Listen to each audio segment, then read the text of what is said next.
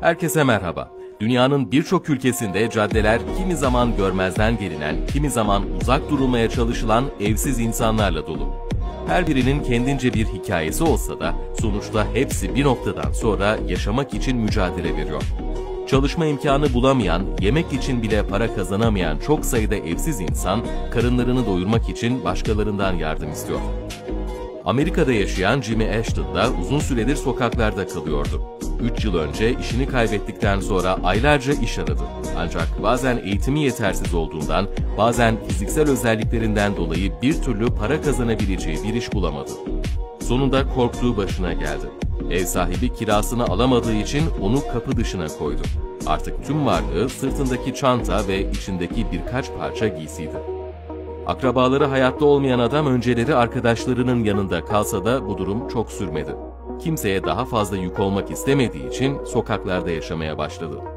Geceleri tenha parklarda, köprü altlarında yatıyor, gün içinde karnını doyurmak için insanlardan para istiyordu. Uzun süre yeniden iş bulabilme umuduyla tüm ilanlara başvurdu. Ancak artık evsiz olduğu için kendine bakması ve iyi görünmesi de hayli zorlaşmıştı ve iş bulması her geçen gün daha uzak bir ihtimal haline geldi. Jimmy o gün bir cadde üzerinde oturuyor, yoldan geçenlerden yiyecek almak için bozuk para istiyordu. Onlarca insan onu görmezden geldi. Sonunda bir kadın Jimmy'ye yardım etmek istedi ve sadece biraz bozukluk isteyen adama bununla güzel bir yemek ye diyerek 20 dolar verdi. Genç adam bu cömert davranış karşısında hem şaşırmış hem de mutlu olmuştu. Saat gün ortasını çoktan geçse de halen hiçbir şey yemediği için çok açtı ve bir an önce köşedeki kafeye gidip bir şeyler almak üzere yola çıktı. Burası onun bir işi olduğu dönemde en çok sevdiği mekanlardan biriydi. Oldukça uygun fiyata harika menüler hazırlıyorlardı. Cebindeki 20 dolara bir değil iki öğün birden yemek yiyebileceğini düşündü. Ancak o sırada kaldırımda daha önce hiç görmediği bir evsizle karşılaştı. Sokaklardaki ilk günlerinde yaşadığı zorluklar aklına geldi ve onunla konuşmaya başladı. Adının Steven olduğunu söyleyen adam da onunla aynı şeyleri yaşamış gibiydi. Bir süre önce işsiz kaldığını, ev sahibine kira ödeyemediği için sokaklarda yaşamaya başladığını ve çok aç olduğunu anlattı. Hava soğuk olmasına rağmen üzerinde sadece bir tişört vardı. Jimmy bu genç adamla yaptığı kısa konuşmanın ardından hiç tereddüt etmeden cebindeki 20 dolar parayı çıkarıp ona verdi. Akıllıca davranırsa bu parayla bir iki gün karnını doyurabileceğini söyledi. Steven başta parayı kabul etmek istemese de Jimmy'nin samimiyetinin farkındaydı ve bu iyiliği geri çevirmeyerek parayı aldı. Jimmy'nin desteği bununla da kalmadı. Üzerindeki paltoyu çıkardı ve çok üşüdüğü her halinden belli olan Steven'a verdi. Ardından ona şans dileyerek yoluna devam etti.